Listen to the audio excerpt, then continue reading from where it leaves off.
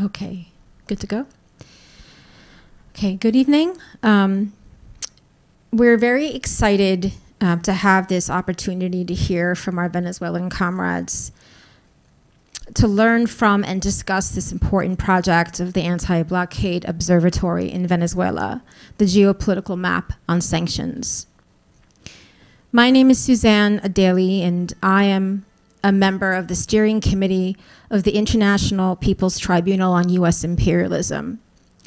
Since January of 2023, the People's Tribunal has held 16 hearings on the use of economic coercive measures on countries in Latin America and the Caribbean, Asia, and Africa, imposed unilateral, unilaterally by the United States as well as by the European Union and the United Nations. You can view some of these remarkable hearings on our website, sanctionstribunal.org. We see economic coercive measures as inherently violent, designed to maintain economic inequality, continue the theft of wealth from the global south, and preserve racial hierarchy in the international system.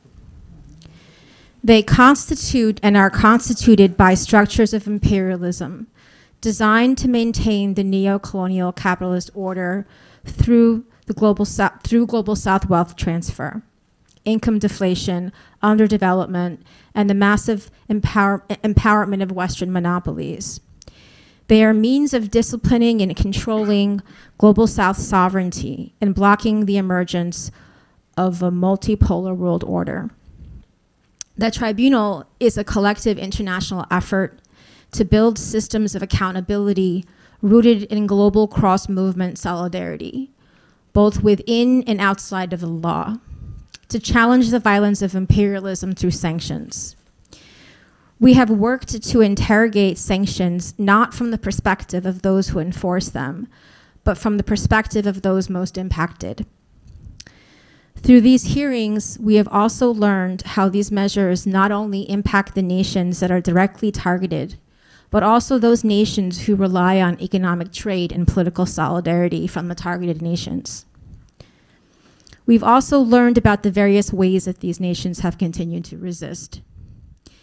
In analyzing sanctions, blockades, and other economic coercive measures, it is important to understand where, how, and by whom they are utilized. Thus, an analysis of the political economy of sanctions and the structural, spatial, temporal, and racial configuration of the actors that deploy these measures is necessary. We believe that this map developed by the Anti-Blockade Observatory in Caracas is a vital contribution to this effort. Now I'm going to hand the mic over to my colleague, Karina.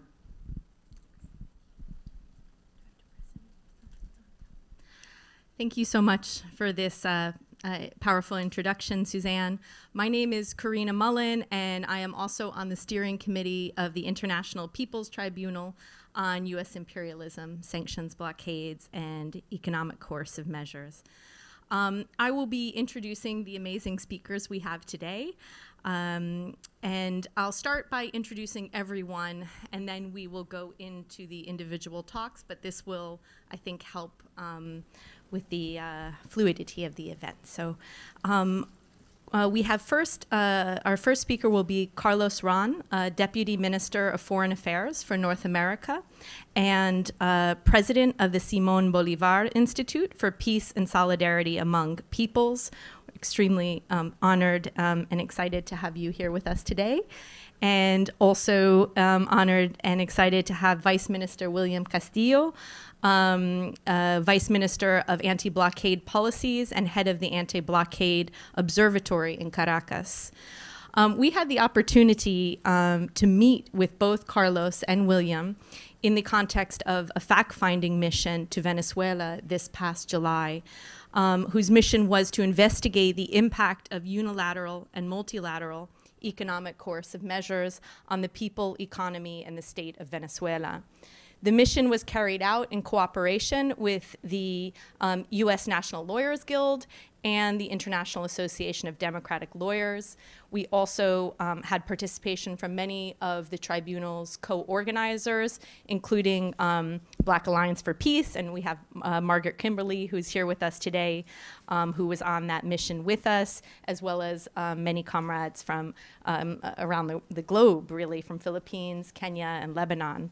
The mission culminated in our hearing on Venezuela in, on July 28th, a particularly auspicious day as it was the birthday of Comandante Hugo Chavez. During our visit to the Anti Blockade Observatory, the delegation had the opportunity to get a sneak peek of uh, the map that we're going to be learning about today and um, to learn about all the work that went into its development. Our group, um, comprised of anti imperialist lawyers, journalists, and academics, understood immediately the importance of this digital tool as a way to help visualize the extent and devastation wrought by this regime of unilateral coercive measures.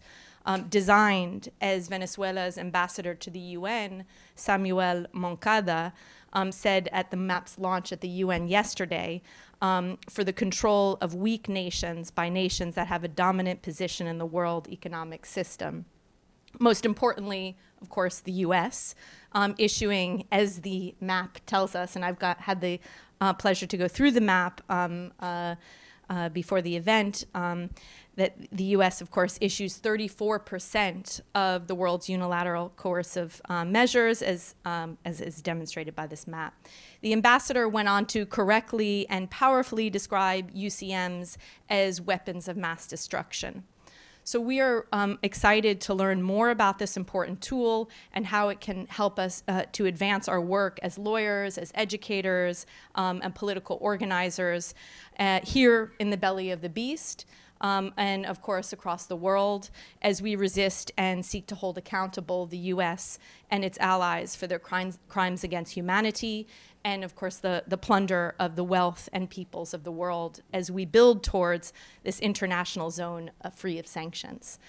Uh, on this point, I am also incredibly excited and honored to introduce our other two speakers who will be responding um, to Carlos and William's presentations um, and, um, uh, have, who have themselves done a tremendous amount uh, in their respective areas of work to advance this struggle against sanctions and blockades and by extension, US imperialism. They will provide their feedback on the map as well as discuss ways it will be useful in their own organizing work. We have uh, Dr. Rosemari Mealy, who um, will be joining us, who is a member of the board of directors of the Interreligious Foundation for Community Organization, IFCO, um, Pastors for Peace, and the New York uh, Cuba C Coalition. She is also the author of Fidel and Malcolm X uh, Memories of a Meeting. We also have Juyun Park, who is a member of uh, Nodutdol and the engagement editor at The Real News. So we'll begin now um, with Carlos Ron. Thank you so much, Carlos, for joining us. Thank you, Corina. Well, good evening, everybody. Thank you uh, for this opportunity. Thank you for being here. Uh, for us, it's uh, a very um, important part of our annual visit to to United Nations to be able to talk to the people of the United States. Um, we always like to reassure everyone that whatever a relationship may be with the government of the United States, and despite all the uh, difficulties that we've had over the last years, our relationship with the people of the United States is always one of, of fraternity, of you know, of uh, solidarity, which has been very important uh, for us. Um, not only to receive the solidarity from from you, but also so that uh, you know that we are also aware of your struggles and and your uh, and and and we are also in solidarity with you, with you as well. Um, as you know, Venezuela has been under sanctions uh, and under an aggression uh, by the United States uh, since since the beginning of the Bolivarian Revolution itself. I mean, there were already different types of actions uh, that were done since President Chavez came to office in, in uh, 1999 that slowly built up uh, to the sanctions regime that, that we have uh, today. Particularly during the uh, Obama administration, in the last years of the Obama administration, there was a couple of um, laws that were approved in Congress, which paved the way for an executive order uh, to be um, applied by President Obama, where it called Venezuela an unusual and extraordinary threat uh, to the national security and the foreign policy of the United States.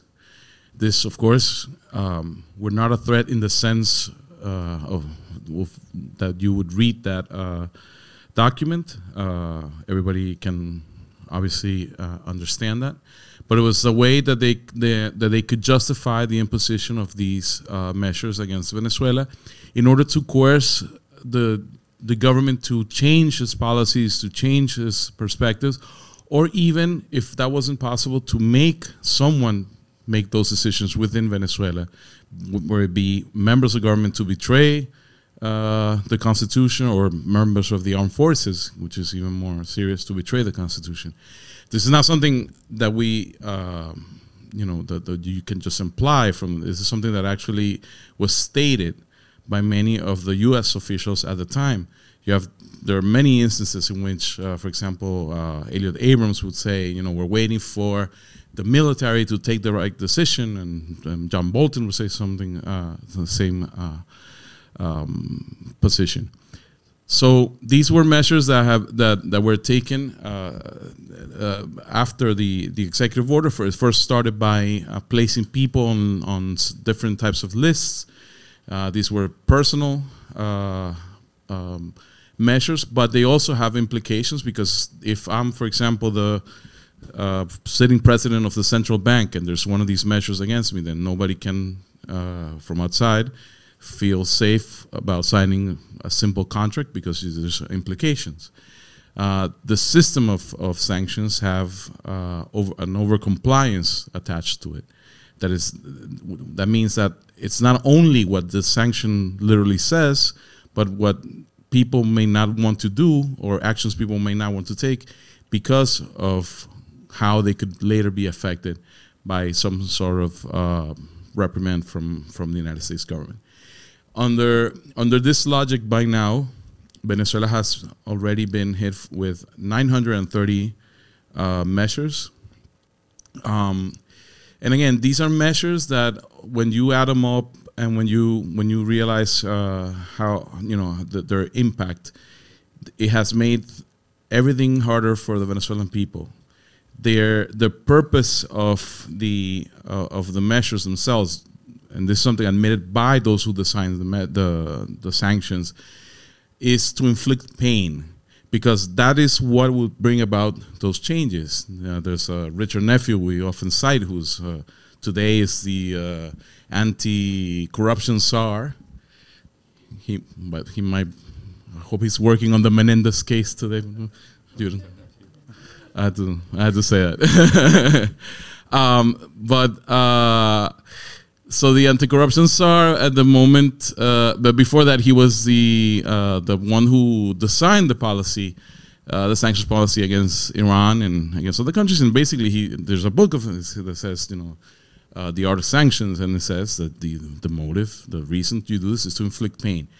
So what we're trying to do uh, in Venezuela, course, um, we have resisted this as a people. We have, and there's many stories, and some of you have been recently to Venezuela. You know that the Venezuelan people. Uh, have not taken this, uh, these measures and these attacks lightly. Yes, they have hurt our economy seriously. We have lost about 99% of an income if you compare what we used to earn in 2015 to what we earned in 2020. Uh, and that's that's not an exaggeration. That's that's a, a, a, real number. We have had many losses in in material losses. We have lost material. Uh, we have lost also uh, lives uh, under this uh, process. Um, but the Venezuelan people have not taken this sitting down. The Venezuelan people have tried to you know put all their efforts to continuing you know the the project that we engaged in continuing the the government has been uh, president maduro has been engaged in making sure that you know we can provide the basic necessities for the people in the middle of this aggression, and that we can build that society that we're that we've been looking uh, towards. Now, part of the uh, part of that resistance or part of that effort is to also think how we can take this to another level, uh, multilateral level, where we can and how we can work together with other countries that are under the same uh, aggression. Uh, like you mentioned before, you know, it's about 30% of the world. 30% of the world is somehow under one of these uh, types of measures. So the idea is how do we how do we uh, come together with proposals that can help eliminate this as a real policy option? See, we need to make people understand, especially here, uh, decision makers in, in the United States, that sanctions are not a policy that you can implement because under the belief that this is somehow more humane than fighting a, a war or promoting an invasion or because that's sort of how it's sold. Well, sanctions are better than you know taking military action or you know it's not. It has it has terrible effects. You know they all they all had a very um, uh, uh, similar effects to to a conventional war. Even even sometimes worse because in the in the, in the conventional war you sort of see you know where you're going to get attacked. Uh, you you have a a rapid response. Sanctions can deteriorate uh, your infrastructure, your uh, uh, possibilities of acquiring food, medicine in such ways that you have no response left. So, um, and this project, which my comrade William will speak to you about, is one of those attempts from Venezuela, but together with other countries, we want other countries to engage this because this is a way that we can show the world how the real, how, how, how we can actually see the effect that these sanctions are, are having, and we can see their numbers, their dimensions, and, and how they cover such an important part of the world. In, um, during the event, uh, yesterday, and this I'll, I'll close. Um, during the event yesterday, um, I think it was the representative from Russia that said something that, that I thought was very, very important, very interesting, because he mentioned that at one point uh, in time, the, there was a use, there was a widely accepted use of chemical weapons, and then people started protesting and saying this is something, there's something really wrong about this use of chemical weapons because of the effect and the, of course, all, everything that we know about them. And eventually, it came to the point that it's you know there's all these rules now and conventions and everything. People trying to get rid of chemical weapons as a means of war. What, in a way, what we're trying to do with with this uh, type of tools and with with these uh, denunciations that we do uh, every time we we go outside of Venezuela is to raise consciousness and awareness, and so that we can finally end the idea of using sanctions as a means of anything. You know, diplomacy, uh, dialogue, those are the ways countries should relate to each other, even when there are differences, not subjecting people, whole populations, whole countries to, to an aggression that, that constitutes a crime against humanity. So this is part of our effort. Thank you.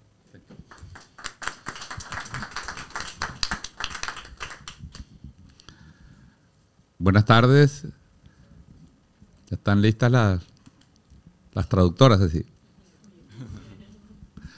No, buenas tardes, un gran placer, un saludo. Good evening, greetings. It is a great pleasure to be here in this uh, People's Forum and to be able to share part of the work that Venezuela has done in order to face from the knowledge perspective this unheard of aggression. It is an unprecedented aggression in the history of Venezuela and of many countries, such as in Cuba and Nicaragua. This has never been seen the way that we have been attacked by imperialism, by corporations, by the financial system all around the world, and by the political allies of the US. So I am going to present this uh, report to you. we did it yesterday in the UN, and I'm going to be a little less diplomatic here. than I was in the United Nations. And I am going to mention some other things that are behind this narrative.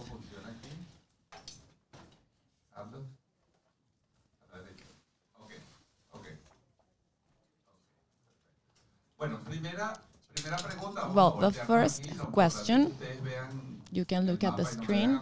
Well, the important thing is that you look at the map, not me. So why a geopolitical map of sanctions? It's because this is a global policy that affects many people, many countries, and it affects the life of those people. Geopolicy, geopolitics is about the analysis of politics through geography and particularly resources the land, uh, the territory, economic resources of the different countries. So we cannot understand sanctions if we do not understand the struggle and the fight for resources, for the control of the economic resources. That is why this is a geopolitical map. And why is this necessary? I have four basic reasons. First of all, because we don't have any map of this type. So we needed to do it because it doesn't exist.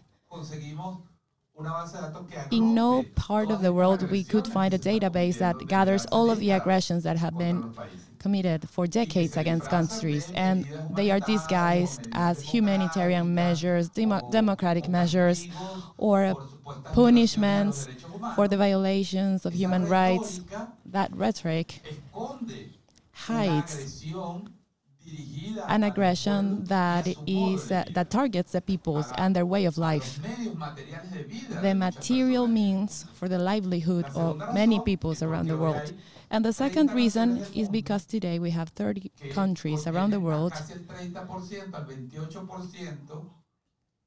that have uh, around 28% of the population of the world. And they comprise 78% of the territory of the planet. Of course, this includes China and Russia. Only these two countries are enough. And this is a problem that involves the world. So we need to address this from a global perspective. The third reason is that it can happen to any country in the world because uh, there is no small country or a developing country that are not able to develop sovereign policies because they are going to be subject to sanctions, to coercive measures.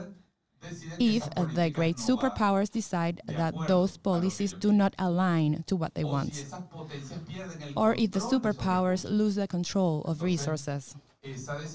So that decision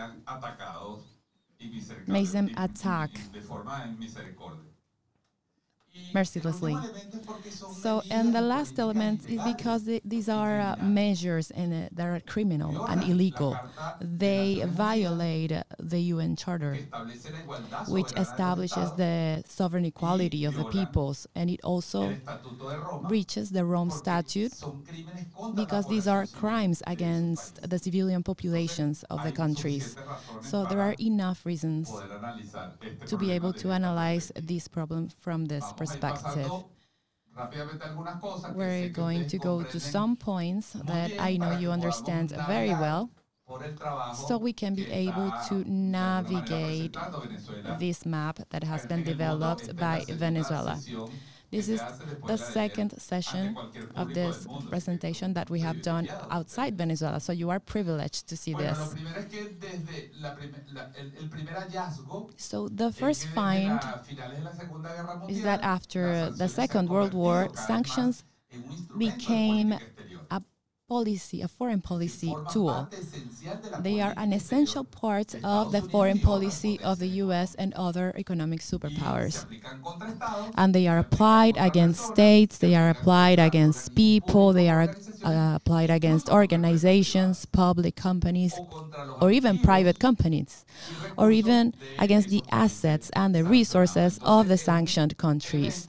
So this is an element that is justified, as Carlos already said, trying to compare it to war. They want to say that it is preferable to sanction a country than to invade that country. So they replace the idea of a war with the warmongering policy, an indirect warmongering policy. And this is incredibly important and also dangerous for humanity because at the end it means that uh, the elements of war have not been abandoned, they, they're still being used. To confirm this, we can look at this chart. It is in a private database of a US university, and we see the growth of sanctions starting in 1950. And the most important thing here is to see the curve, how it accelerates. Every year, it has become a more and more used instrument. And we also have multilateral sanctions that have been imposed by the United Nations. In any case, there are different methodologies, and what we want to highlight here is the trend. We are not in a world. We are in a world in which, which sanctions have become the pillar of the foreign policy of the U.S., an aggressive policy. And I said this yesterday in the UN. In the world, not even in the United States, there is not a, a definition, a clear definition of sanctions. The multilateral world does not agree upon the definition of this policy to create a concept of this policy. And this lack that has been detected by Rapporteur Alena Douhan. She is the most important official of the United Nations that works on this topic. She is calling upon the states to collectively build the methodology, the doctrines, and the definitions so that we can study this problem at a world scale. As a summary of this first part, so we have this policy that is a warmongering policy. It is a unilateral aggression, illegal and criminal aggression, as I said before. It is also cruel and inhuman because it, it is aimed at producing the pain at the sanctioned countries and it produces pain by affecting the economy, by affecting the material means of the livelihood of the peoples. So these policies are designed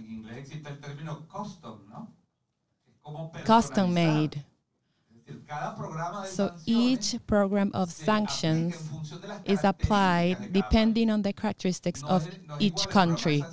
The program of sanctions of Venezuela is not the same as the one for Iran, even though we are both oil countries. But they study the economy the, of the countries and they impose the measures depending on the particular characteristics of that economy.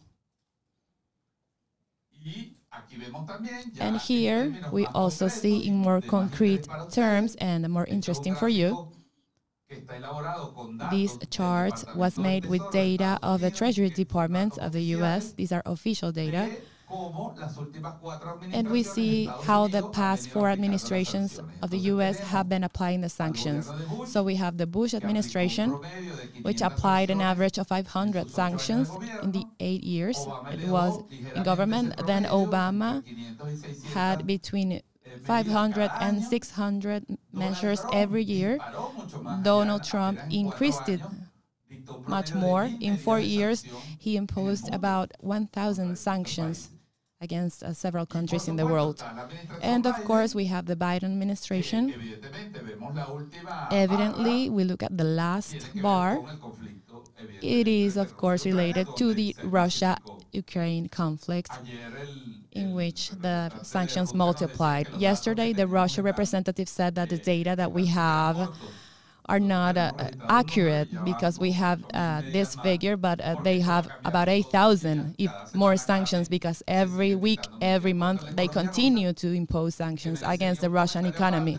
This would deserve a comment, a separate comment, because what is happening with the sanctions against Russia had not happened before because they are being reverted against the sanctioned countries. And this is a very important geopolitical element because it is different taking the oil from Venezuela, which of course is going to affect some markets and some part of the economy.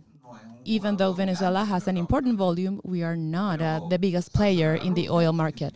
But if we sanction Russia, it means blocking the gas for the European population, for many, many countries in Europe. So this is another phenomenon that starts, that occurs because of the sanctions against Russia. But what I wanted to highlight here is that unstoppable trend, apparently without any control, regarding the use of sanctions by the US. And here I briefly said uh, comments on what Carlos said. In our analysis, we see that sanctions may have effects that are worse than the effects of war. Here we compare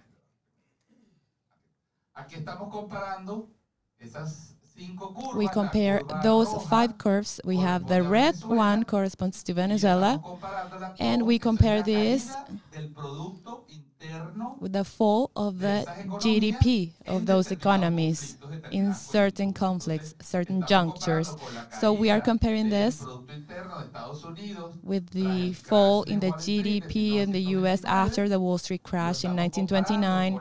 This is also compared with the GDP fall of Germany after the Second World War, then in France before the war that had an economic crisis, and also the Bosnia Herzegovina war.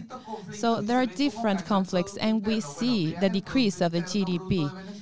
Look at the one from Venezuela in the red curve, how it falls, starting from the first year that we measure it, without a war, without being bombarded but it has dropped much more than in several countries that have some wars in different at different points of our history. So this reveals the warmongering nature of this. Because it is even worse. Because at a war, we still have the humanitarian right.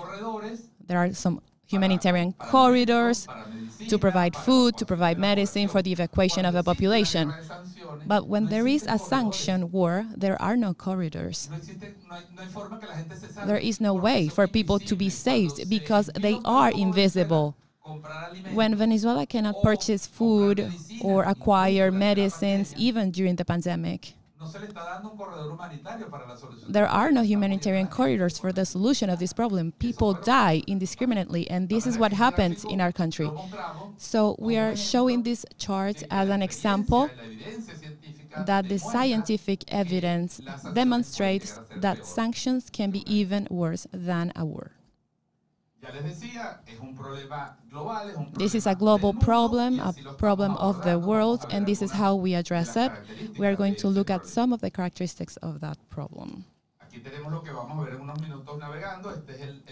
We are going to navigate this map in a few minutes. This is the map. This includes all the 30 countries with UCMs. And the idea of this instrument that we have developed is to create a digital tool, free access, that can be also fed with the official figures of each country so that we can do some comparisons. Because as Alena Douhan said, there is not a database, there are no definitions, there is no methodology. And in this case, sanctions will be invisible. And they justify this by saying, well, we're going to sanction the president of Zimbabwe. And of course, the news is that the president is sanctioned because he is corrupt. But the president of Zimbabwe, as the president of Venezuela, has an economic role to play in the country. And then the trade exchange of the countries is deteriorated. When a president or a finance minister is sanctioned, it seemingly they are sanctioning this person, but actually they are creating a financial crisis because those officials cannot travel around the world, cannot sign any agreements, they cannot renegotiate the debts, as it happens in Venezuela. So the media say, well, these officers, oh, officers are being sanctioned. This is not going to affect the civilian population. But when the country cannot be included in the financial market, the effects are immediate on the population. And this is what has happened in several countries of Africa, Asia, and of course the three cases of our continent, which are Cuba, you know it very well, Nicaragua, and Venezuela. These are the three countries that have, has been appointed as an unusual and extraordinary threat to the safety of the U.S. And you wonder, well, how is Cuba a threat? Some people may say, well, in the 60s they had a base and they were related to the Soviet Union. But what is Cuba today? Cuba is an independent and a sovereign country. They produce science, technology, but they cannot uh, have free trade in the world. And other people might say, well, Venezuela can threat the U.S. because they, they have oil. But the real, in reality, Venezuela was a safe provider of oil for the U.S. Many streets of your country, in this city, and many cities, and the highways, these structures were built with Venezuelan oil. Venezuela was the first energy provider during the Second World War. Well, I cannot say this in the United Nations because you know we need to respect dip diplomacy, but we need we didn't we don't need to do that here.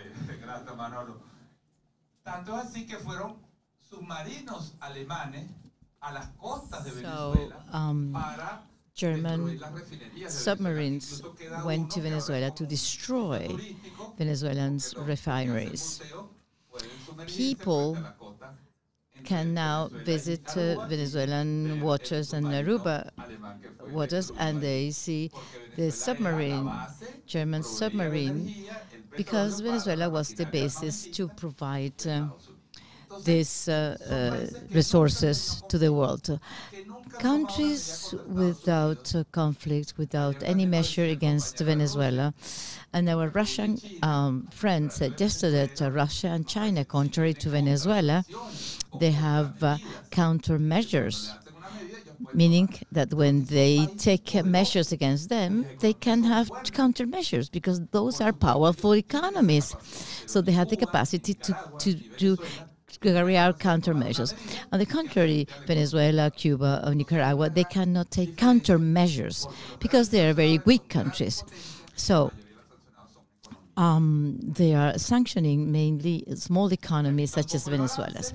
And here we have a little bit the balance today in the world. Eight countries and a group of uh, countries such as the European Union, uh, encompassing uh, uh various countries. Uh, uh, well, they sanction these countries in various continents. Well, we need to include Eritrea because the Eritrea representative yesterday said he was complaining because we didn't include we didn't include Eritrea.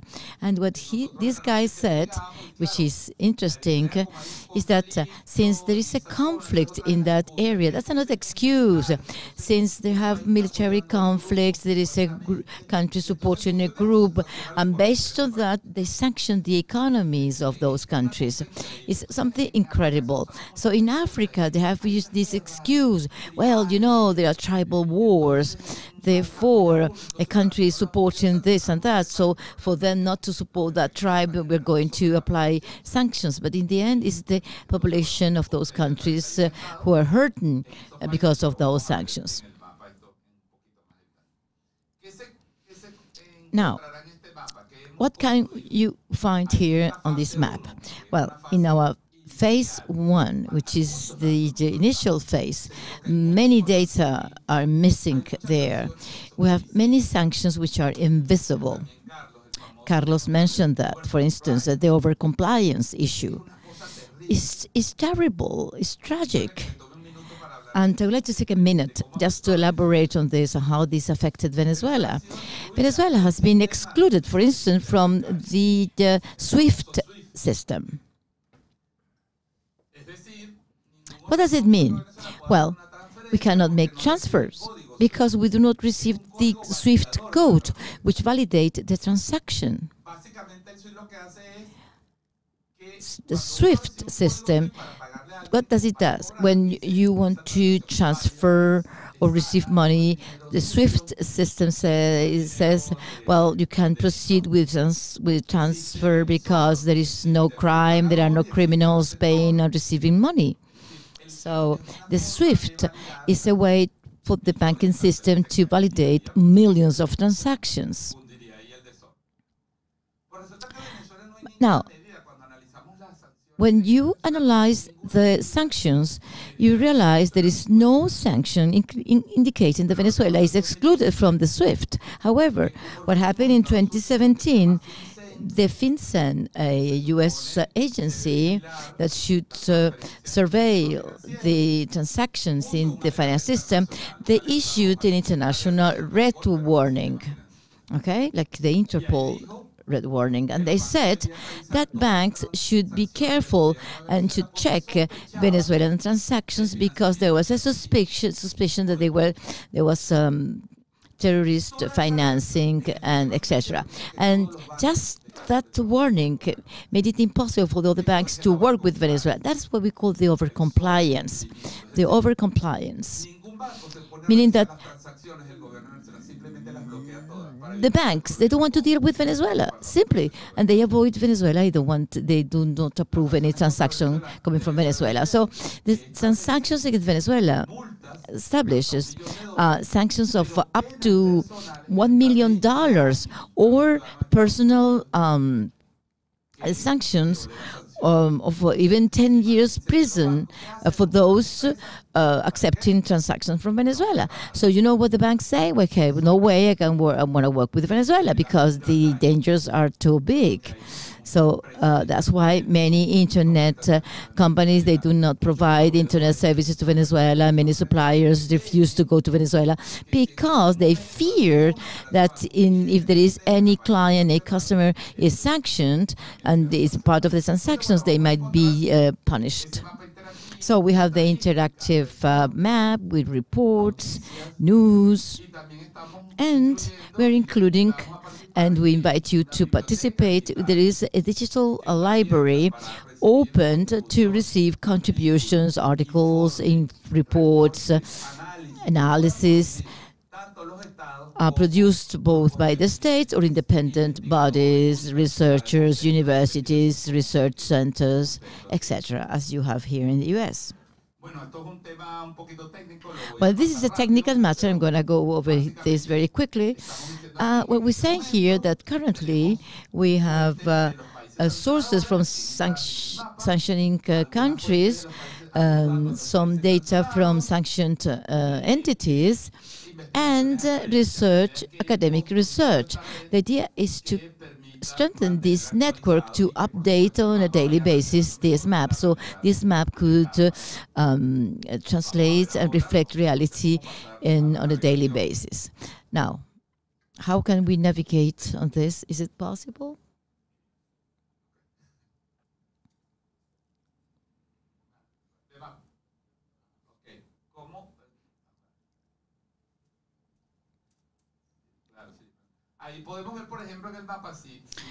Well, if we click here, let's do it.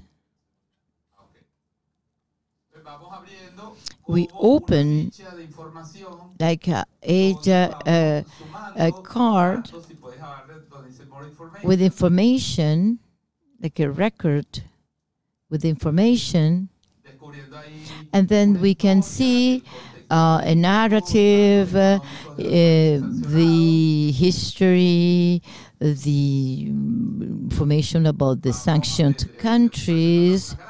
We give some graphs so we can have uh, the countries sanctioned, how many sanctions have been slapped. We build the narrative of sanctions regarding that country and you have the reference, the sources, so people can check the original sources of that information. This is a complex task, of course, because we have main, much data that is not available. And uh, so there are many things missing, and that's what we want. We want to build on this. Also, we want to evaluate the impact, which is the most difficult how many people have been affected?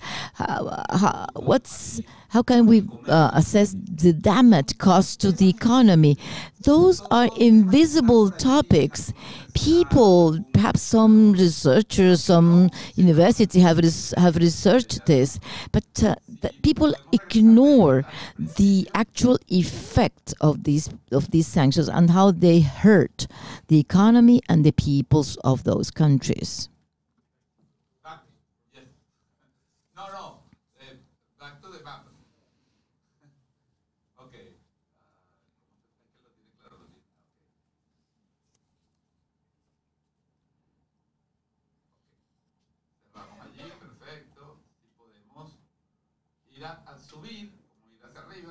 We could go upwards.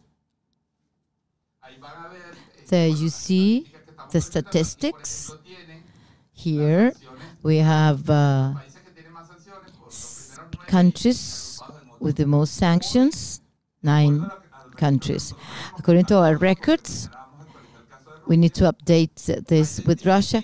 We have 26,000 active sanctions in the world against these 30 countries. But the initial nine countries Russia, Iran, Venezuela, Belarus, Ukraine is a special case.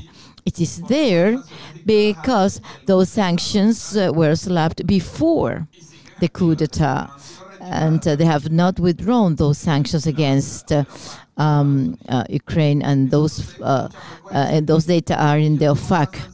Because sometimes they, they take sanctions, and even though the country changes uh, their conduct, the sanctions remain, just in case, you know, in the future things change in the opposite uh, direction. The, the sanctions will remain forever. You can go down.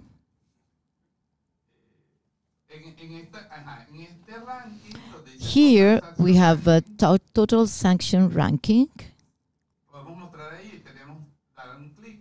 We click here,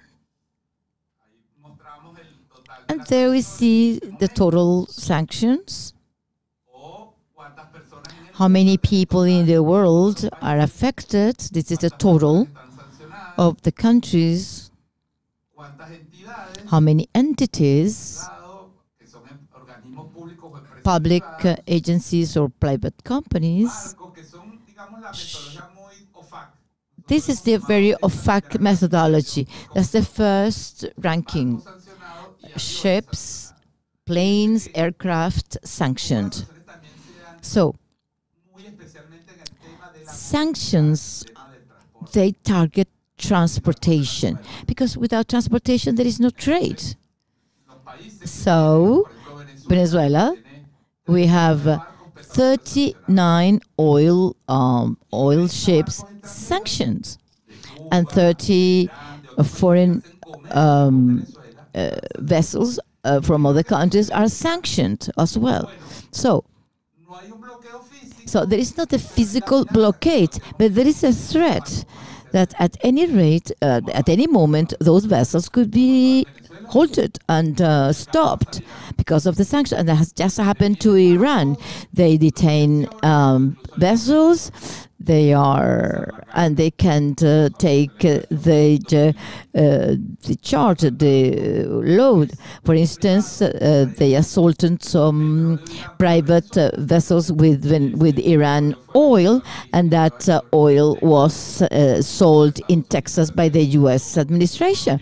Even the, the piracy is a is a is a piracy because they took the load of oil coming to Venezuela and they sold it in Texas. So this is a result of the sanctions, you see. And now we have uh, a, an airplane, a cargo aircraft. Uh, it's been almost two years. A Venezuelan aircraft bought by Venezuela, Venezuela to Iran. Now the U.S.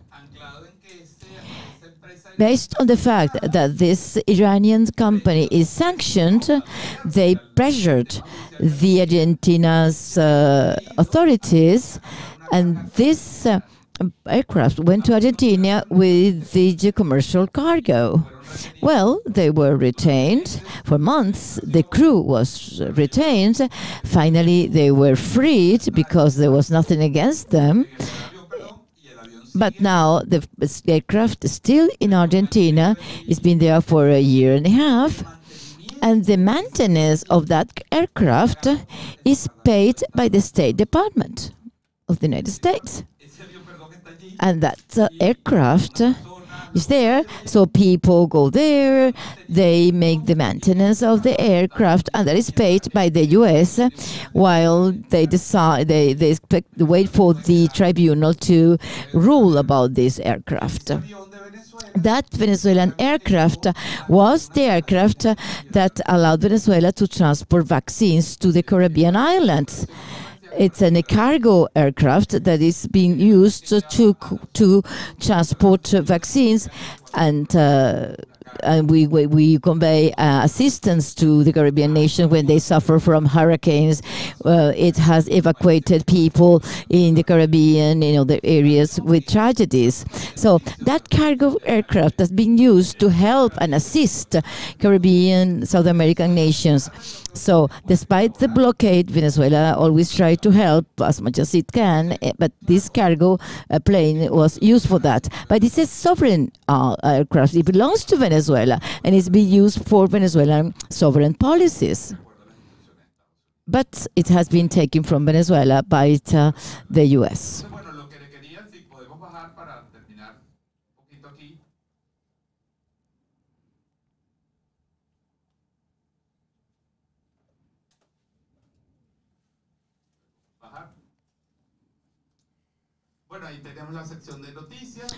Well, there we have a section of news.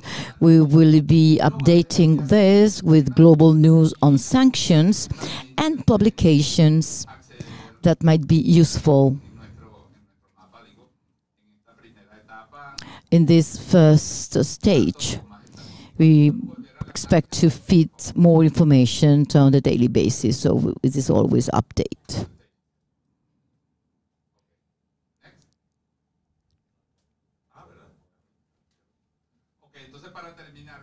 Well, to conclude, what is our proposal here? Well, to create collectively with the sanctioned entities, uh, academic institute, research agencies, independent researcher, that we can collectively build this tool that could help us in our global struggle against sanctions. That we have this database and we can fight misinformation, the invisibility of sanctions, and come how to assist these countries to um, raise their voices against these sanctions. And uh, this could be helpful to improve anti-blockade policies. People understand better, countries understand better how this country has dealt with sanctions, how that other country has been able to fight them, etc. So yesterday we said that it is a tool for diplomacy, but it's also for cooperation and to defend multilateralism and legality because sanctions are illegal and we need to fight them from legality. And that's a debate because when a country does something to fight to fight the sanctions, they say, "Oh, you're doing something illegal." That happens with Venezuela and Cuba in the uh, in the sea. We try to find maritime routes, or we try to create financing schemes outside the traditional route. Why? Because we are forced by the sanctions to find mechanism to uh, to circumvent the sanctions, and they call it uh, uh, illegal routes. So they sanction those who do things to help us to circumvent uh, sanctions. It is something ridiculous. So, and that's uh, the case of a Venezuelan citizen who is here in the U.S., Alex Saab. He is an entrepreneur, but he- also was. Um, assigned as a, a diplomat to protect him because this guy used to pl- travel around the world to find food for Venezuela, to circumvent the sanctions, and he succeeded indeed to provide Venezuela with uh, food, uh, fuel, and medicine. Well, this guy was illegally detained. He was in was in jail for more than a year and a half and then he was sent to the US and uh, for a year and a half all his rights have been fully violated. Why? Because uh, although he has uh, diplomatic immunity he was detained because he infringed the blockade and it was awful. Because the idea is to send a macabre message to an entrepreneur daring to you help Venezuela to circumvent the uh, sanctions, to discipline, to terrorize, telling entrepreneurs, look what can happen to you if you dare to help any uh, uh, sanctioned country to circumvent the sanctions. So we keep struggling for the freedom of Alex Saab, and sooner or later uh, we're going to obtain his freedom because this is a just cause. Well, in closing, I have this quote of our beloved uh, Chavez, because Chavez accompanies us in this process, because we say we are at a moment of change in the world. A shift is occurring in the world, and a new world is rising, and we need to hit the policy of sanctions. We need to hit the sanctioning entities, and this can be done because uh, we can find new mechanisms, new systems of financial exchange, and this world uh, Chavez already uh, saw. Uh, and the quote that you can see here, he said this uh, that when he uh, swore uh, as president for the first time in 1999. And he was speaking to the Venezuelans. He said, A new world is coming. Uh, the world will no longer be a unipolar world, but a multipolar world. And uh, his fight was against uh, the unipolar world that was, uh, for him, being morphed into a multipolar world. So he is our guide because he had the vision to see this. So I want to invite you, the People's Forum, and all of those wishing to join us in this uh, task to denounce the blockade and the sanctions. So we join forces because in this fashion we will be able to beat those sanctions and the sanctioning entities. Thank you very much.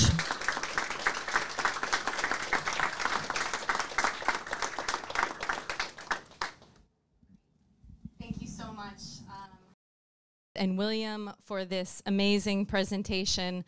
Um, so uh, detailed and powerful, and I want to congratulate um, you again in the Anti-Blockade Observatory um, for all the work that you've done uh, on this geopolitical map.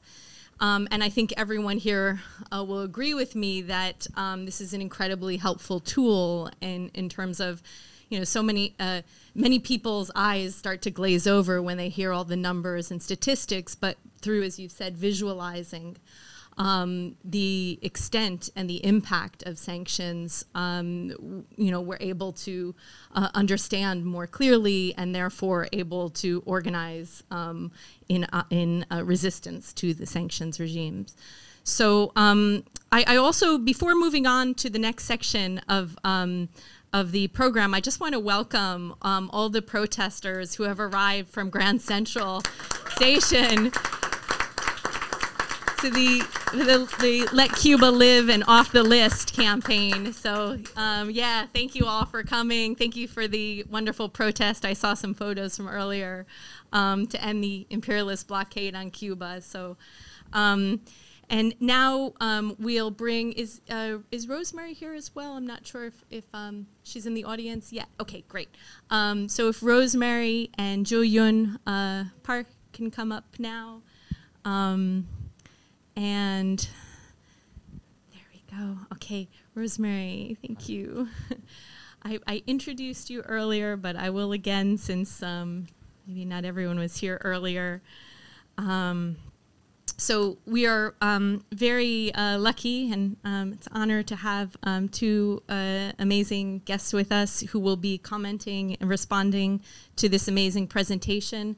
Um, Dr. Rosemari Mealy, member of the director board of directors of the Interreligious Foundation for Community Organization, IFCO Pastors for Peace, and uh, the New York Cuba Sea Coalition and author of Fidel and Malcolm X, Memories of a Meeting. And uh, we also have um, Juyun Park, uh, member of Nodutdol and engagement editor at The Real News. So um, thank you. The, pass the mic to you both.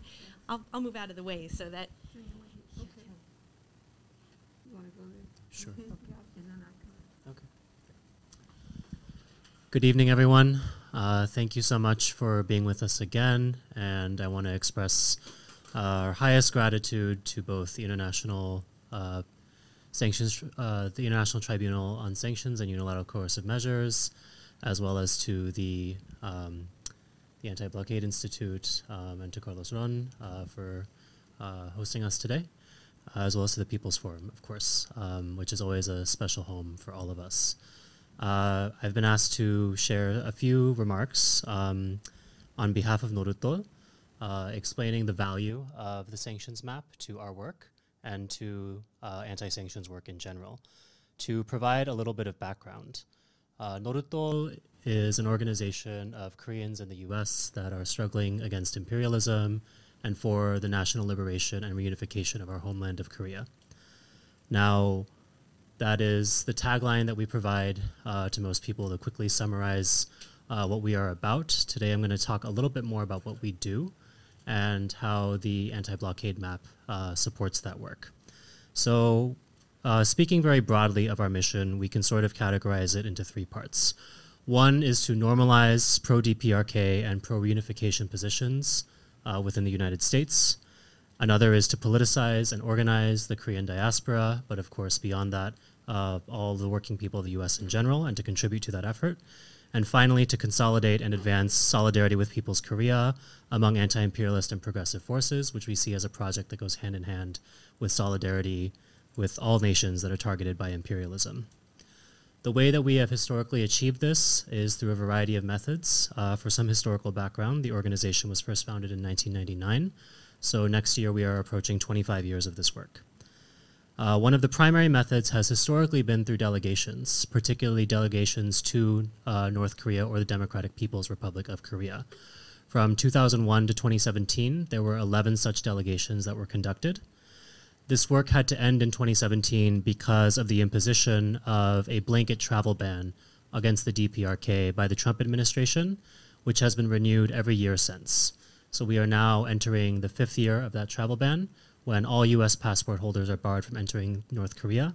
This includes 100,000 Korean Americans who are estimated to have direct family ties in the North.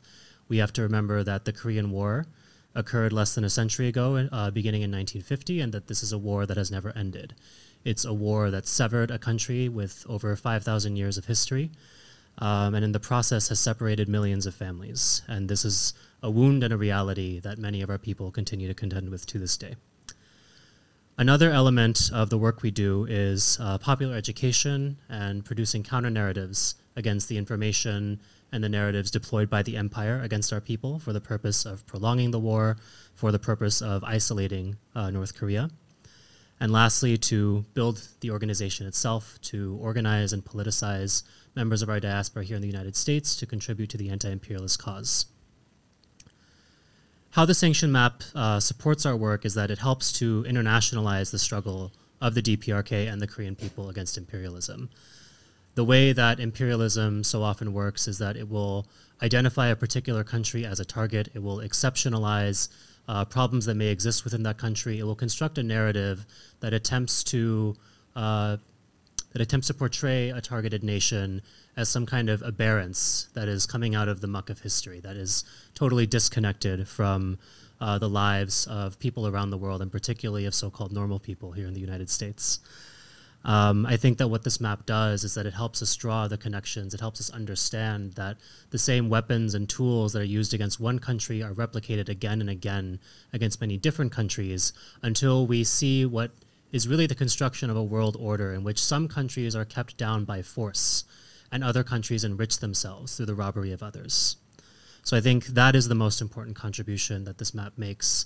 And of course, it goes into a lot of very important detail I was very impressed sitting there, uh, seeing the different kinds of categories in which the sanctions were broken up into, the ways in which it was possible to compare and contrast uh, the different kinds of sanctions levied against different nations, where those sanctions are coming from.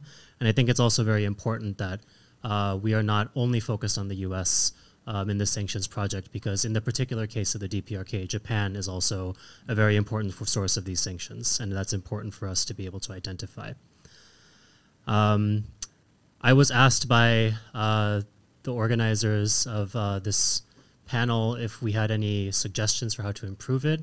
I'm a little loath to make such suggestions. I'm not a fan of suggesting things I'm not about to do myself. Uh, but something did occur to me when we brought up Bob Menendez, which is that we have a list of the sanctions. What about the list of the sanctioners? And I think, you know, that is one thing that maybe I would point out in that, you know, it's easy to think of sanctions, of unilateral coercive measures as, oh, those are big words. They uh, seem to refer to some legal tools that are disconnected from people. But I think if we identify, no, the, pe- the enemies of these countries are also the people who pass the budgets that take away money from your schools, that take away money from your social programs, that fill your streets with police if we're able to establish those connections and actually point to these are the people who are doing that, I think that will go a long way in uh, helping the people of the U.S. to understand that we have common enemies uh, with the peoples of Venezuela, of Syria, of Iran, of the DPRK, and those enemies do not live anywhere else uh, but a few very select streets and neighborhoods in this country. Um, so with that, I would conclude my remarks and uh, repeat our gratitude to for the invitation and for the work that you've done. Thank you. Oh my God, you're so short.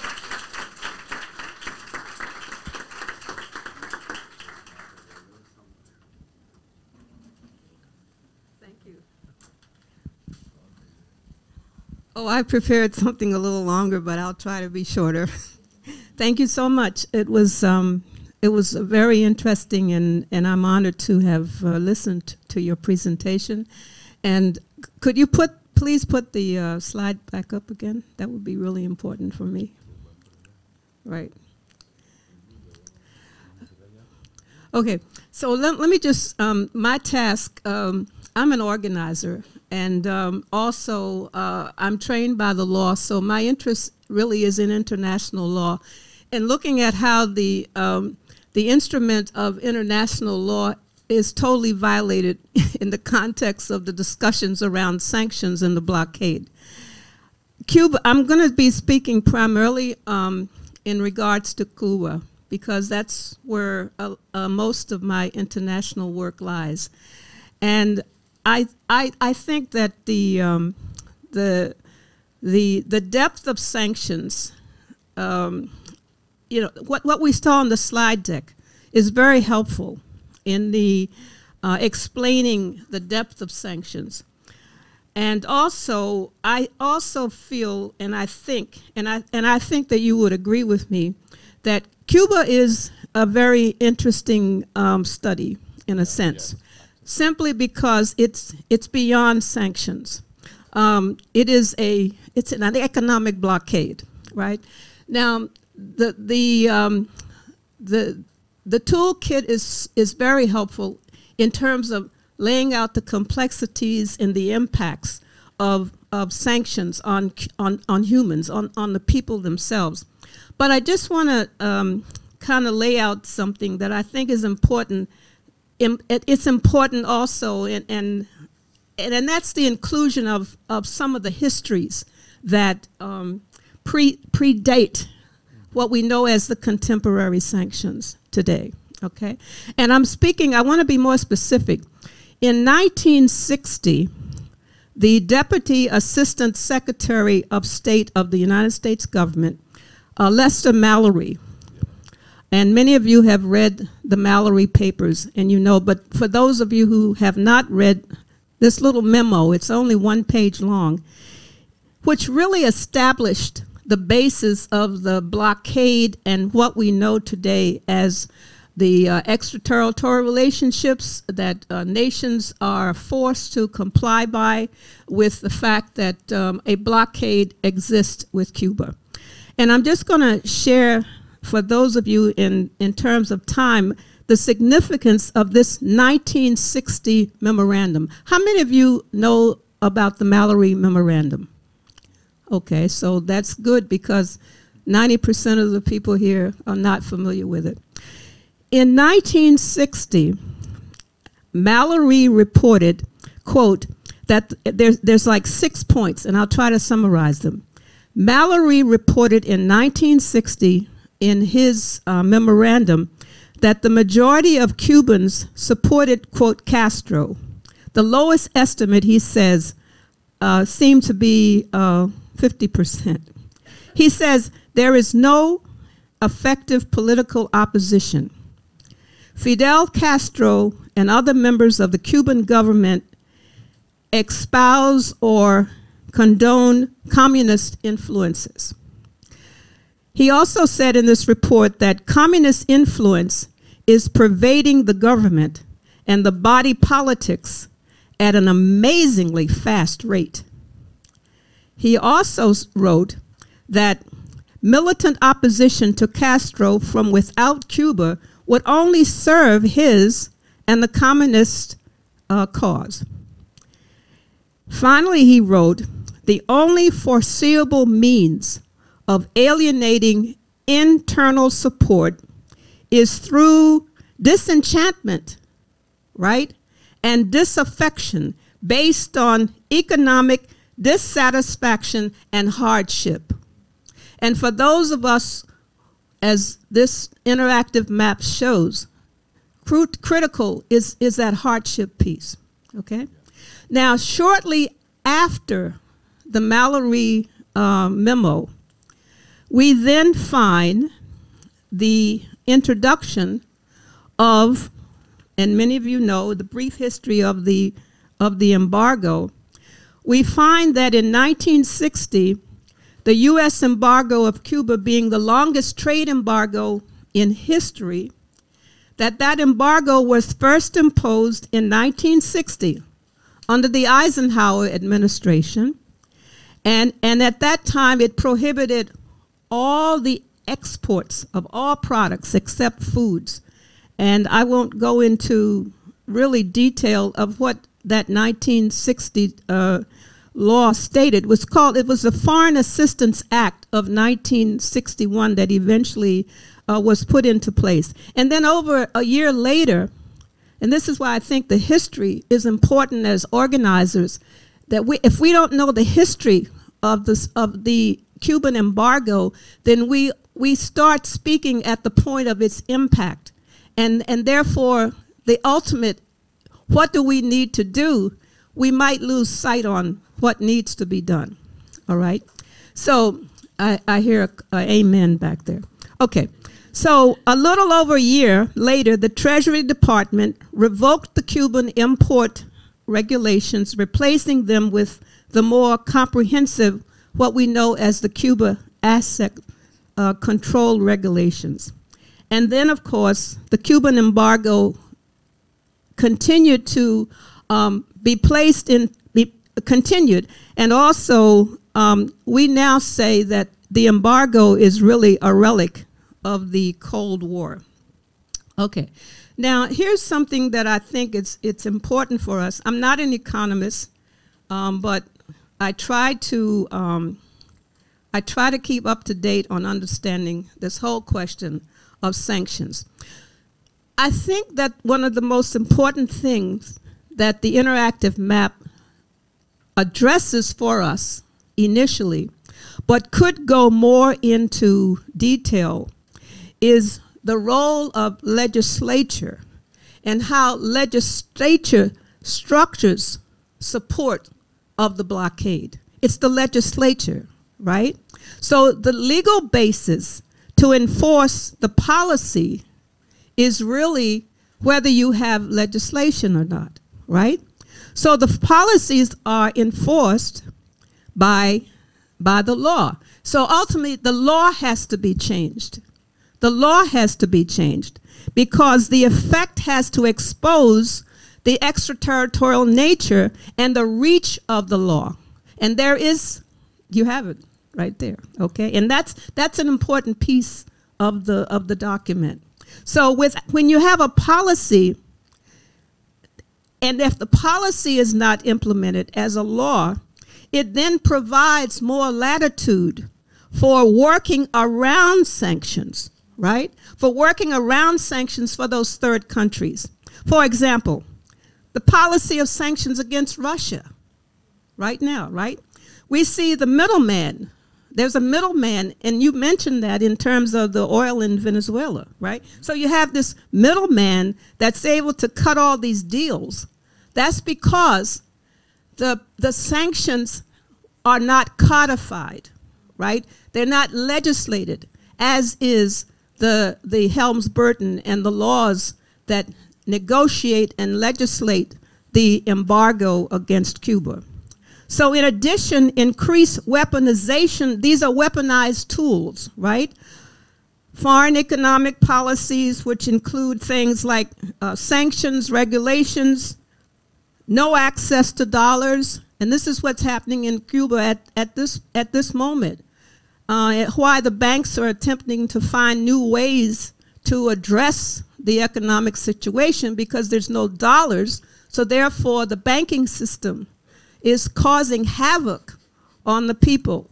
Again, because unless you have uh, even even now putting together a tarjeta, a new banking card. Everybody has to have a new banking card now, right? How can a that and that that creates all kinds of issues. Farmers with banking cards, you know. But again, it goes right back to the impact of this blockade.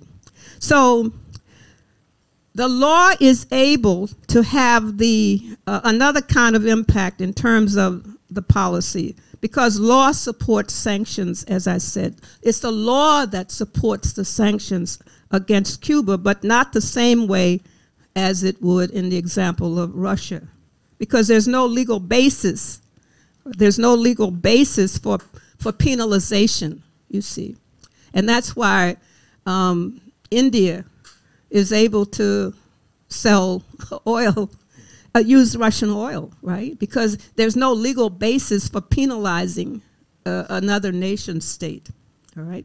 So I think that those would be, as an organizer and someone working around the issue and utilizing this interactive map, there are aspects of it that we can use, but I think the historical piece, the uniqueness of the embargo against Cuba does require that we have a little more information.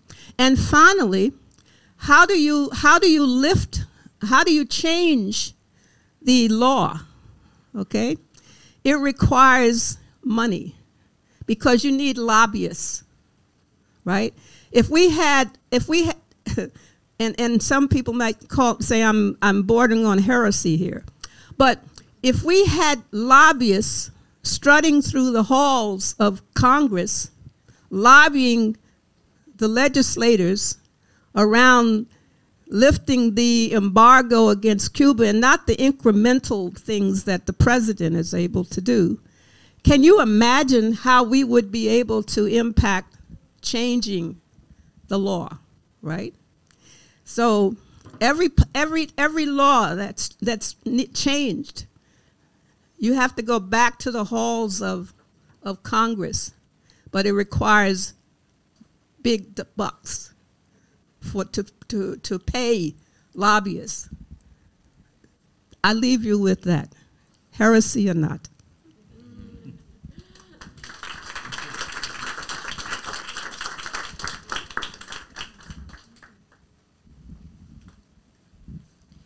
Okay, um, we were just going, we were going to do a Q&A, um, but uh, William and Carlos, do you want to directly respond to Juyun and, um, and Rosemari? Yeah. Sí. Bueno, muchas gracias. Eh, pero fíjense, hay, hay, varias cosas. Esto es una propuesta inicial This is just que explora an initial proposal that is exploring this issue that has not been explored before. The UN rapporteur says that every country faces this problem with its very own tools. And since there is not international consensus except to reject the legality of sanctions, but since they are specific measures of each country against other countries which have history, they have their own characteristics, so the problem remains invisible. I think there are there were two very important remarks here on how to incorporate other elements that are not included right now. For example, the legislature. You mentioned that Cuba is uh, like a model in the regard that at a time where the theory of sanctions was not developed, they started an aggressive escalation of every kind. And they used legal and not non legal instruments or illegal instruments, attacks, conspiracies, military aggressions, and laws. And those laws also included executive orders, specific measures. So it is very complex when we look at every country and the way that this aggression has been organized. It cannot only be reduced to a sanction, to one person or one organization. In the case of Cuba, and also learned from the example of DPRK. They have been imposed sanctions from Japan, and this is related to a specific history. So I believe there is an opportunity for us to build collectively a narrative that goes well beyond the issue of UCMs. Is the narrative uh, of uh, the imperial aggressions based upon the economic matters, but beyond these, uh, the juridical, the diplomatic matters against many countries. We need to build this collectively to open the doors to recognizing all of these phenomena and to integrate them as a part of our denounce. Because there are many things that are already very clear in the world, but nothing happens. Cuba has been trying to pass a resolution for 30 years. It was voted by 89% of the members of the UN, but nothing happened because these measures are unilateral. They are measures applied by the US. These measures are not discussed by the Security Council or any other agency of the UN.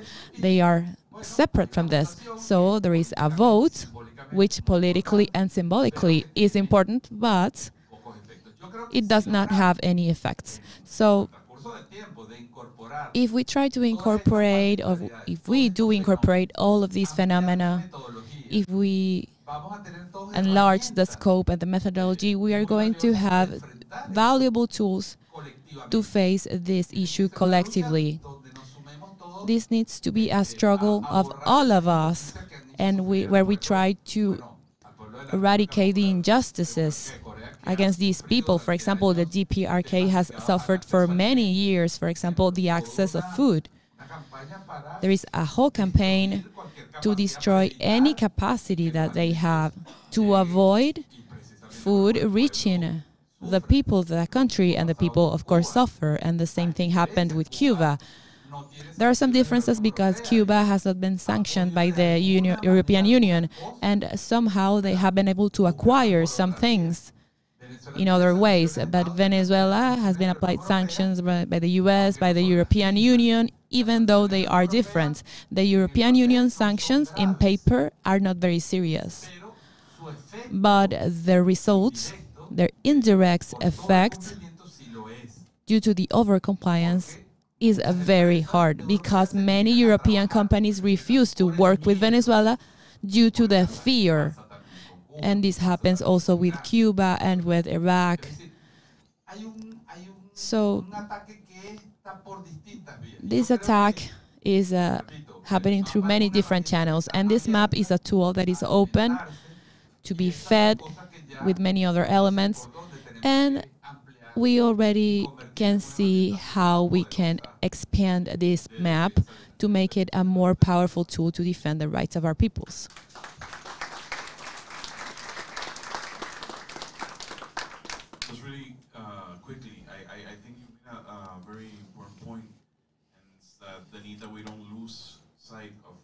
That this is a strategy um, that often we could get lost into in into language and even doubt uh, when they say, "Well, these people are sanctioned because they're uh, drug traffickers or human rights or whatever excuse." But when you look back at the history of how these uh, projects come up, uh, you realize that there's there's political intent from the beginning you know, one one one uh, bit of information that uh, that William shared which um, which I think is really important and kind of shows this. The FinCEN uh, warning about the the Venezuelan, uh, uh, you know, the, the, basically said that uh, the transactions, the Venezuelan transactions, should be put on on, on hold, and, and they're suspicious, whatever. Um, they, there was a line in that in that text uh, that it said, if you see any Venezuelan public institution making purchases or having some exchange on something that was not its nature, uh, then that should you know set the alarms or some. I'm paraphrasing more here, but and this is important because there was a point that at that point in time, we had taken a decision uh, as as a government to uh, use uh, you know the money the, the income coming to the state uh, oil company PDVSA to engage in social programs such as you know everything from building homes to uh, supplying food and medicine everything. So basically if the oil company is purchasing i don't know chicken. Because it's part of, it's part of you know a, a, food program a subsidized food program that was that was supposed to come into you know under suspicion. That was going to set off the alarms. Basically what these things are doing it's not only that they're trying to you know uh, punish but they don't they're they're trying to do everything so that a socialist government a government that has social conscience that has social programs in place it, that, that it, it can't do it you know they're trying to block any opportunity for us for a government to do that then they'll come out and say well you see you know the problems the country has is because of socialism. It's it's an attempt against a program. It's an attempt against an, uh, an ideology. So I think you know it's important that we don't lose sight uh, of, of all that that is uh, implied within uh, this uh, model. And going back, and I don't want to mention Menendez one more time, but you know, given that we have to today because it's you know, I'm sorry, and this is uh, this is fun. I have it's poetic justice. Uh, but you know the fact that, um, but but again, coming back to what you were saying, Menendez was uh, is actually uh, he has a draft of uh, update of the Verdad Act, which is this, uh, which is basically what he's trying to do there is do uh, what the Helms-Burton Act does, you know, codify the the sanctions, executive orders, and everything into legislation that later, you know, is going to be much much harder to uh, take out, and and and it's not just going to be an executive order that can overturn this. Uh, so this is the intent that these people have. I, I agree with, with it's, it's a good idea to point the finger sometimes at, at people who are who must you know in a way that it's it's for their own political gain and, and other types of gain that they are they're doing these uh, they're pushing these agendas. And and it's important to be uh, to be aware that what these legislations entail is you know precisely just making uh, these sanctions regime you know harsher to the people that it affects.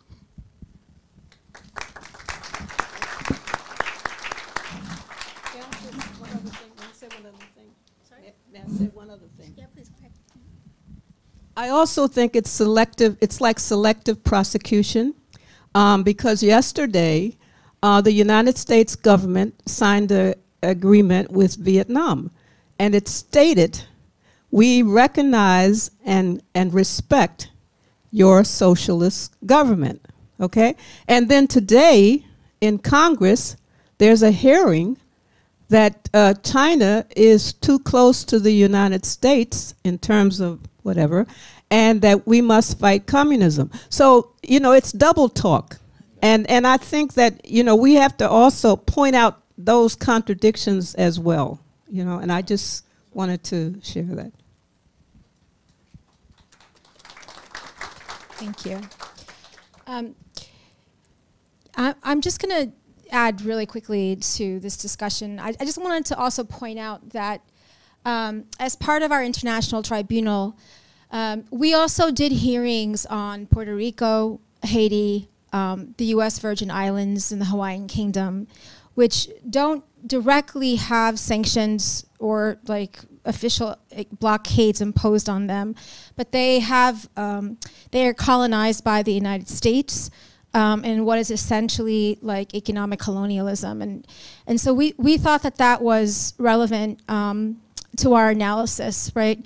Um, and I think um, what what you had mentioned, um, Hyun, about uh, Nodutdol's um, popular education, right? And because I, this is a very interesting conversation about this very specific task of uh, making policymakers, decision makers understand that this is a broken policy and this is a policy that actually is harmful, right? And make them see that policy like chemical weapons, right, as something that we can't continue for humanity.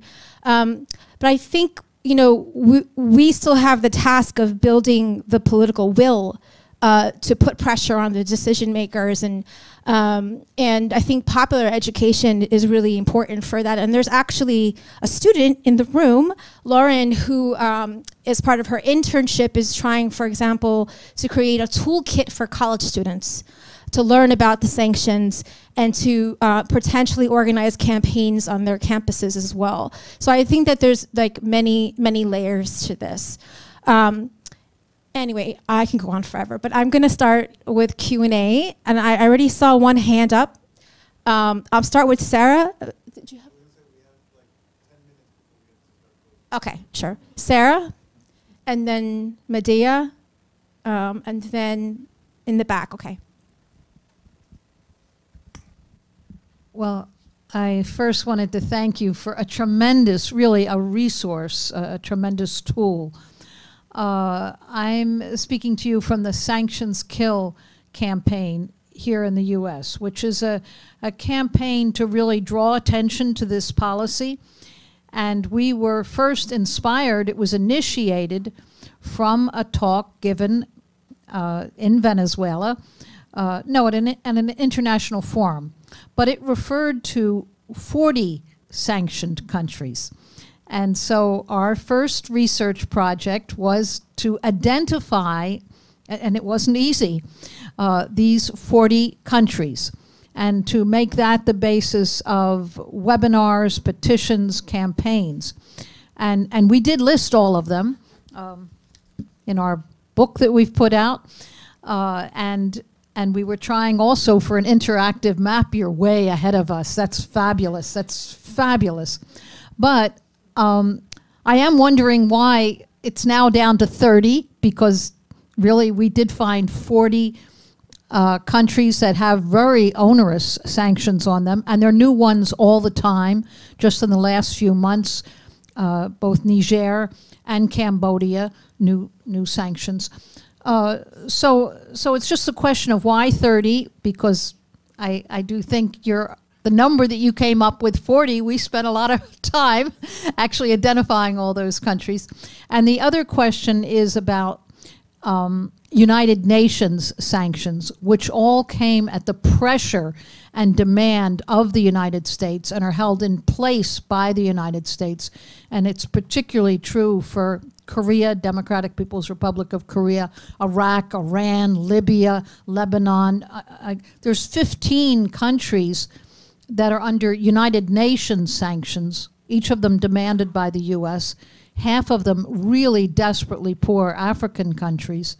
So, uh, if that will be part of uh, your work, uh, because because really ending the UN sanctions, uh, I think, is an important part. It's it's no longer the Security Council will no longer vote these things because it's a new day but uh, ending them, I think, is, is very important because they're some of the most onerous, uh, uh, as we saw with the earthquake in Syria and the floods in Libya, a direct response of, of the U.S. sanctions. Thank you.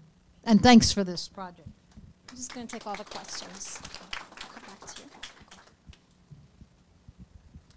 Well, yes, thank you so much for this wonderful tool. I look forward, and I'm sure we all do, of, of really looking into it. Um, Rosemari, you talked about a, a uh, an army of lobbyists we don't have, but we do have people power.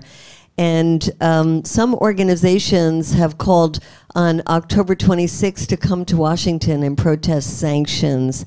And uh, we'll be setting up meetings for folks who can come. So maybe we can work with the People's Forum and trying to send that notice to people who've come here tonight to try to get them to come and do it on a regular basis, like every month. And the other is uh, a kind of, you know, what could we do like civil disobedience against sanctions? Um, we once had a project in Cuba where everybody gave $10 and openly said, we're investing in a Cuban company that produces milk for lactose intolerant kids. And then we sent the list of all the names of the people, thousands of people who invested to OFAC and said, we just want you to know, you know. And we never got any response from them, which is good, you know. And then uh, uh, when when Obama came in, you know that was that was a, a, a positive change, but we haven't done it since. Uh, and in the case of North Korea, we did it with a, a windmill factory. Um, so, uh, and I wonder around Korea. Uh, can you go to Canada, and could a big group go to Canada and go to North Korea um, through Canada? And are there other things we could invest in collectively that would just be, you know, a form of civil disobedience? Thank you. Thank you. Um, Gloria La Riva from the Cuba and Venezuela Solidarity Committee. Um, the same way that Bill Clinton uh, gave up the presidential prerogative, which he used, presidents used to have, to be able to lift the blockade with a simple signature by putting that, uh, take, giving it to the hands of Congress in the Helms-Burton law. People do not know that, one of the onerous parts of it. The same way I think that uh, Maria Elvira Salazar, that right-wing Cuban, um, used to be Cuban congressperson from Florida, is trying to um, codify the SSOT against Cuba which is very, very dangerous. People used to say, no, Helms-Burton won't pass, but it did. The U.S. used a pretext. So I wonder, Rosemari, and by the way, I think a lot of people would be willing to lobby, and we should. We've all done it at some point. But we're trapped in the U.S. politics where both parties are afraid of being attacked for supporting Cuba, doing something positive, and we're in the middle of, you know, getting on to 2024. So we'll see where that goes. But the I have a question about do you know the status of that proposal before Congress? What's happening with it? And thank you all for your presentations.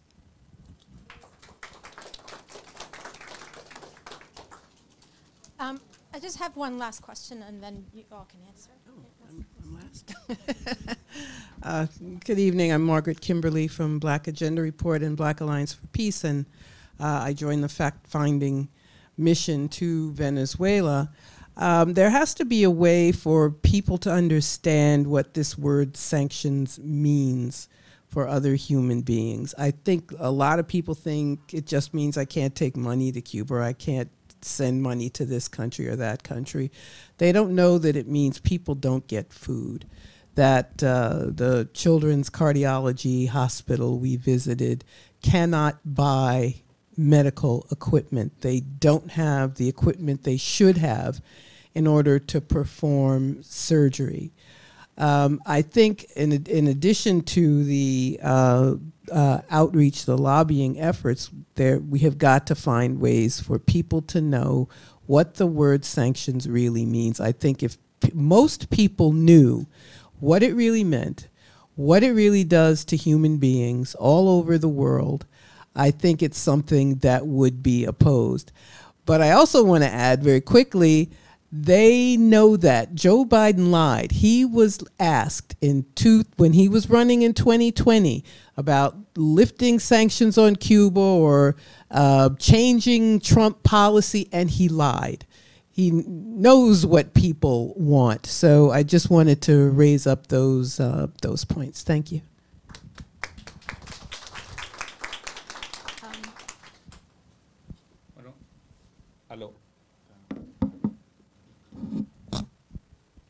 Bueno, un comentario muy breve, eh, porque me siento realmente muy, muy feliz de estar aquí, porque nosotros venimos a presentar el mapa geopolítico de las sanciones the geopolitical map of uh, uh, sanctions, and now we take with us a number of tasks, information, and things that we need to develop uh, together.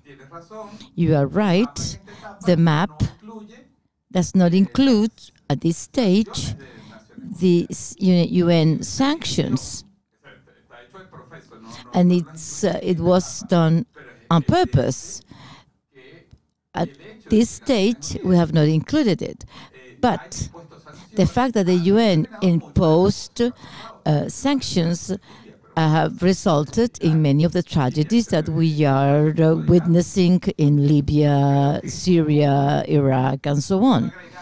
So that's a module that we need to develop in order to include uh, the UN sanctions. You are right. And this is a struggle that we need to wage both within and without the UN. The UN says that if there is an agreement within the Security Council, those uh, sanctions are legal. But uh, we need to wonder who are the members of the Security Council. The Council It's not the the Gen- uh, General Assembly; it is the Security Council. But who are the members of the Security Council? So we need to to work together in order to insert the information you are mentioning. It is a technical issue, but here we used very limited sources for this initial stage. Uh, basically, OFAC, and not all of them are from OFAC. In the case of the US, there are four main sanctioning uh, agencies. Of OFAC is the first, but then we have the Department of Commerce, of Transportation, and Department of State. And any other department that are based on executive order or prior uh, norm uh, uh, task them with uh, applying uh, sanctions. In the case of China, there are little, little sanctions, but most of the sanctions against uh, China come from other departments, not OFAC. So we need to enlarge the methodology to be able to encompass all type of sanctions and all type of agencies approving those sanctions, and also to assess the impacts what proposals can uh, uh, issue, can be obtained from this approach? Well, this could go beyond the multilateral agencies. All of this is challenging the efficacy of uh, the UN to deal with sanctions because these remain unilateral decisions decided by sovereign states based on their political might. But then you are right. We still have work to do. And Medea, you are right. Remember the struggle of the collective uh, movement in the US to defend the diplomatic integrity of our uh, uh, diplomatic seat in uh, Washington. That's a struggle against sanctions. That is part and parcel of the actions that we need to carry out. So, without this tool, in this country, Brazil, um, collectives have uh, mobilized against those uh, measures included in the sanctions. So it is clear that we need to join the study, the theoretical uh, approach, and uh, the actions, concrete actions, because it is through those that we could uh, achieve someday uh, changes in these policies. HR 314, I, I think that's Gloria. Okay. I think that's. I, I, I mean, the last I know, know was the campaign that ACERE had, had started. Um, I know it was, um, it's marked up. I don't know the status of it at this point, but if there's anybody from ACERE, uh, maybe you, Mar- Margaret, you may know? No? Okay, yes. well, we've been told by the State Department it's not going to come to a vote, but I wouldn't trust the State Department. Okay. Department. maybe it was those um, letters and campaigns that we that we launched. Maybe it had an impact. The people's power, right? Oh yeah, I just wanted to quickly answer. Um, regarding travel to North Korea, so the specific ban is against U.S. passport holders traveling. It's not a ban on flights from the U.S. to North Korea. So I don't believe there's a direct route from Canada to North Korea. Any route that you would take would have to go through China. Um, so logistically speaking, uh, once you arrive at the border, I highly doubt that they would stamp a U.S. passport. But I think when we're thinking about the political value of travel, uh, we would have to consider the fact that it is the actual act of a U.S. passport holder traveling which is criminalized, um, and that you know there would be consequences uh, that would come from that. So that would be just an initial response. Um, and as a final note, um, I would also like to speak up for the inclusion of uh, UN sanctions. I know that they're technically multilateral, but I think we know the UN Security Council is not really a multilateral body. Um, and I think getting to Margaret's very important comment, um, a lot of the harshest sanctions against the DPRK are shored up by the UN. It's the UN that also designates that metal items of any kind cannot be imported into North Korea, that designates that all of its major export industries, from coal to agriculture to fisheries, are banned overseas, that has issued a call in, I believe, 2017 at first, uh, for all nations that had DPRK foreign workers to revoke their work visas and deport those people back to the DPRK.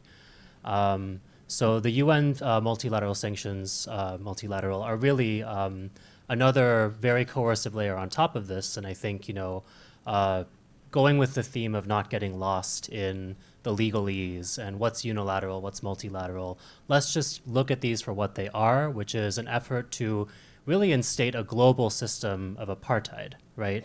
A global system where certain countries have to accept their lot at the bottom of the economic totem pole, and any country that deviates from that will be struck down with all uh, manner of violence um, in order to prevent them from succeeding and to make an example of them to other countries. So that would be the argument that I would make in favor of that. Muy bien. Quisiera agregar una, una idea And eh, uh, I'd like to add an idea regarding these travel bans. There, you can see a manipulation because when you there is a ban to travel to a country, well, a country can ban the citizens to travel, but it means that those who are going to invest or going to do business you cut the economic flow between countries, but it is disguised on these uh, travel alerts.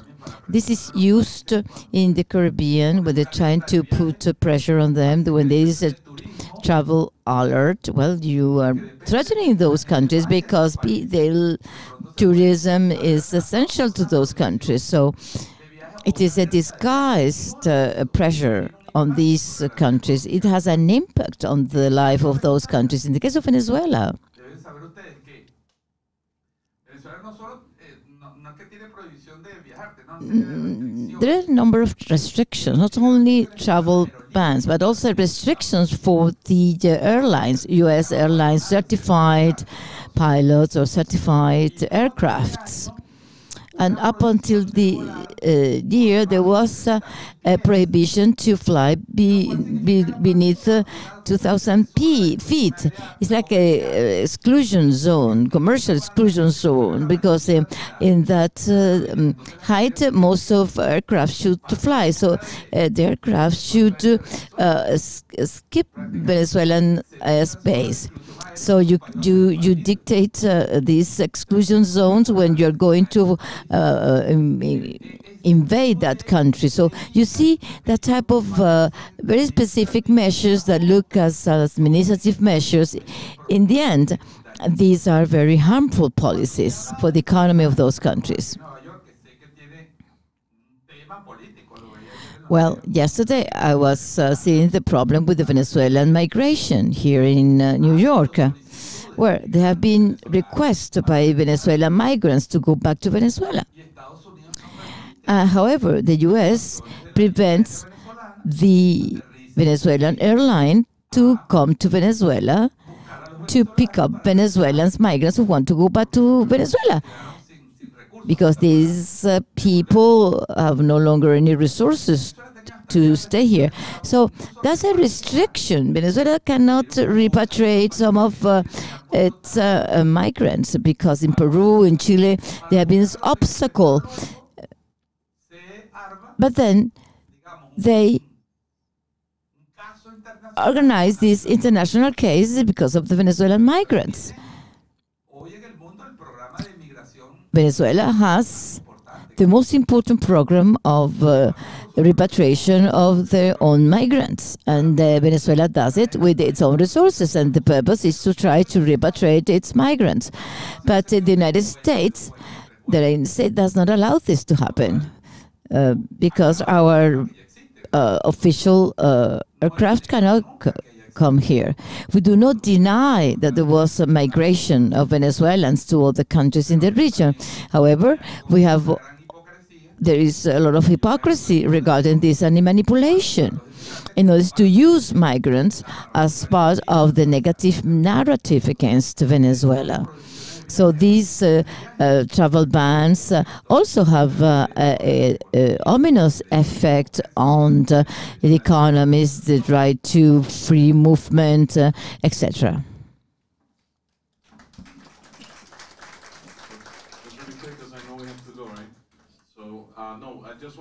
just want to use this moment to thank everybody again for your solidarity, for your uh, commitment to to uh, uh, denouncing these aggressions against Venezuela, against Cuba, against all these countries uh, that are that are suffering uh, uh, under these um, measures, these sanctions and you know, and also because of your commitment to raising awareness. Because again, you know, it's, it's, it's like you were saying before, the you know the, the, the definition of the word that doesn't that we don't lose track of of what it really means, and what it really implies. And you know, again, uh, of course, we love to always see you in Venezuela. Uh, I know that coming to, to Venezuela or experiences first firsthand in Venezuela, Cuba, and, and the other countries that are under these attacks experiencing what they do, but also experiencing how people react and how people survive and how people fight it off and how people can even prosper uh, because nobody, you know, takes this down. We, you know, in Venezuela we're fighting. I know Cuba's fighting, and many countries are fighting this. Um, it's important that you are there also to witness it and to be, in a way, you know, uh, the voice of what you know all those people can come here and say but it's your testimony that can really help change the situation. So thank you very much. Thank you. Um, thank you again, uh, Carlos and William, Rosemari, and Juyun. That was really um, very informative and very powerful panel. I wanted um, to let everyone know that um, a week from today, uh, the International People's Tribunal on U.S. Imperialism, which has held 16 hearings on the use of economic coercive measures, is going to be closing out its tribunal um, at the People's Forum uh, on Friday night with a political panel, uh, which Carlos actually will be joining. Um, and then on Saturday, uh, with a panel of our jurors from around the world who are going to talk about the findings of those hearings and also what's next for, for that campaign. Um, so look on, you can look on the People's Forum site um, to find out more information about that. Um, thank you, thank you everyone, thank you.